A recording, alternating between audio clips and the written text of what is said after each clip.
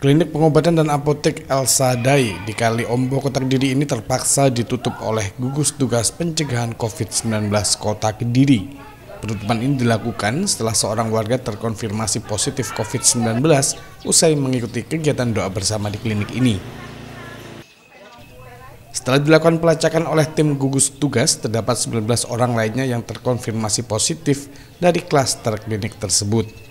Sebelumnya di klinik tersebut diadakan ibadah doa bersama yang diikuti oleh 35 orang. Melihat adanya 20 orang positif corona dari klaster persekutuan doa itu, tim gugus tugas penanganan COVID-19 Kota Kediri terus melakukan pelacakan terhadap 35 peserta ibadah di tempat itu.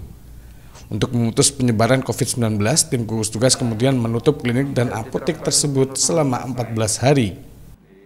Nah, kemudian seminggu setelah selesai acara itu ada salah satu jemaat yang mengeluh sakit kemudian periksa ke sebuah rumah sakit swasta dilakukan rapid ternyata reaktif.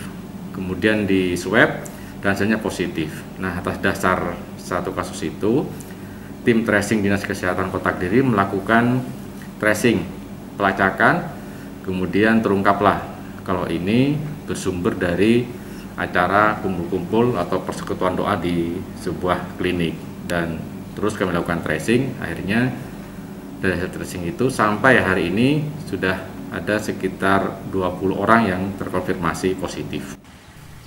Warga yang terkonfirmasi positif COVID-19 sebagian besar menjalani isolasi mandiri karena termasuk dalam orang tanpa gejala. Sementara itu, jumlah kasus positif COVID-19 di Kota Kediri terus mengalami peningkatan Hingga saat ini 93 warga terkonfirmasi positif COVID-19. Minanto Sukaja, Kompas TV, Kediri, Jawa Timur.